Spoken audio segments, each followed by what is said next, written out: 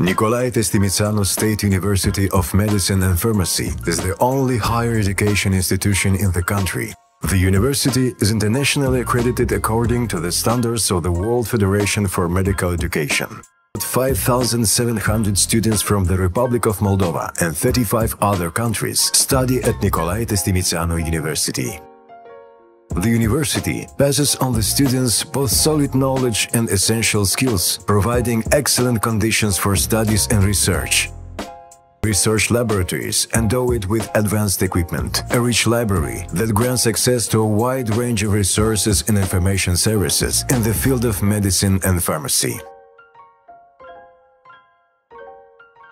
Campus comprises 15 hotels for students and resident physicians, two sports complexes, an outdoor playground, and recreation area with free Wi-Fi.